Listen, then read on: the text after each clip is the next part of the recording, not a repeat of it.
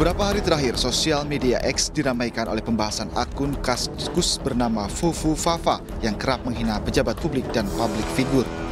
Tudingan Gibran Raka Buming Raka adalah pengelola akun Fufu Fafa muncul setelah warganet dengan cepat menelusuri rekam jejak unggahan akun Kaskus Fufu Fafa yang beberapa kali mengunggah topik yang sama dengan cuitan akun X usaha catering milik Gibran bernama Chili Pari Catering.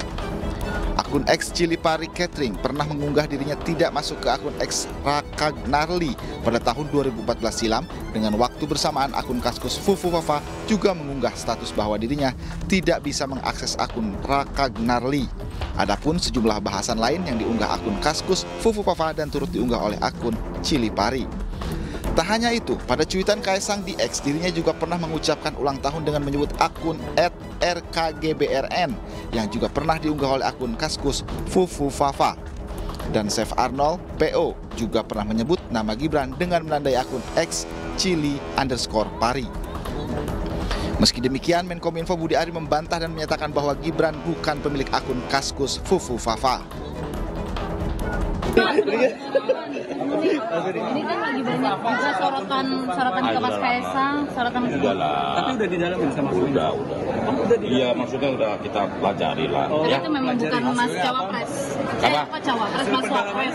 apanya? Tapi itu memang dipastikan bukan Mas Wapres. Bukan bukan. Tapi Bukan Mas Gibran. Berarti akun siapa? Kita nggak tahu, tunggu lagi. Tunggu aja ntar ada waktu. Kita lewat pendalaman Ya, sudah kemarin. viral itu. Iya. Pas mau jadi kominfo, masih ada Oke, yang kurang nggak? Oke, Gimana Pak? yuk banyak dong.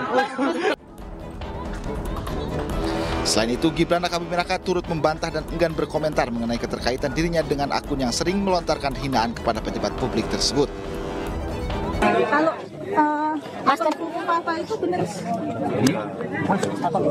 Nanti nanti ya. Ketua Harian Partai Gerindra Sufmi Dasko Ahmad mengatakan Ketua Umum Partai Gerakan Indonesia Raya sekaligus Presiden terpilih RI Prabowo Subianto tidak ambil pusing terhadap akun media sosial Kaskus Fufu Fafa.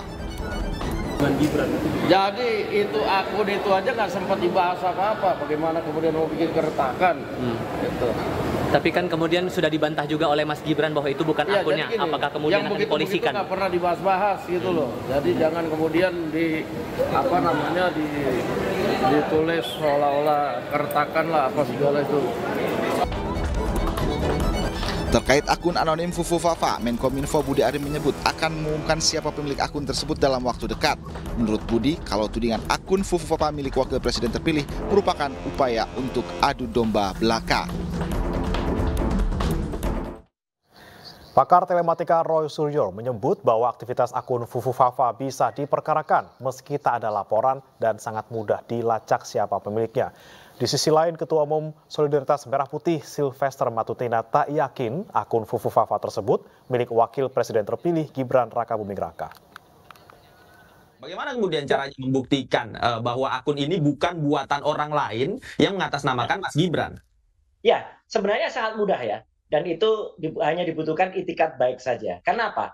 Kalau tadi dikatakan bahwa ini belum ada indikasi apa pun, dengan segala hormat saya, eh, kita boleh berbeda pendapat. Kalau menurut saya, siapa pun dia, apa pun yang ditweetkan, eh, ditweetkan, sorry, apa pun yang ditulis atau dipostingkan oleh akun Fufu Fafa ini, itu sudah benar-benar hate speech ya, sudah benar-benar ujaran kebencian, sudah benar-benar uh, pornografi, kampungan, norak dan lain sebagainya. Karena selain menyerang Bapak Presiden terpilih Pak Prabowo Subianto, dia juga menyerang artis-artis yang terkenal ya gitu. Banyaklah nama-nama artis yang diserang.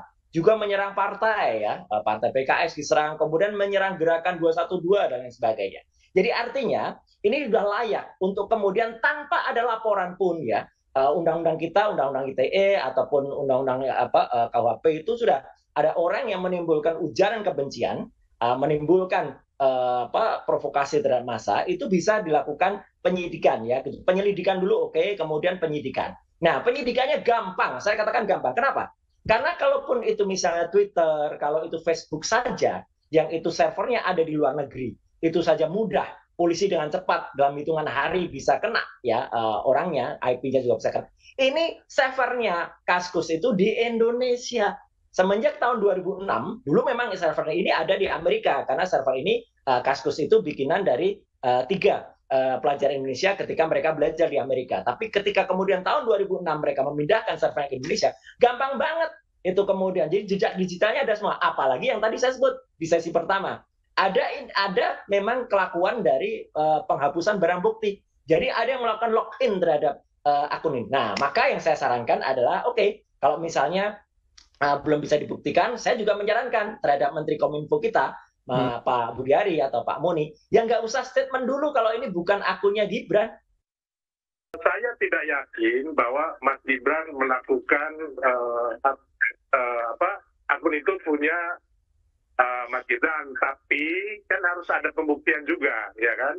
Makanya saya meminta dengan hormat Mas Roy dan teman-teman itu uh, bekerja sama dengan aparat penegak hukum untuk membuktikan ini gitu loh.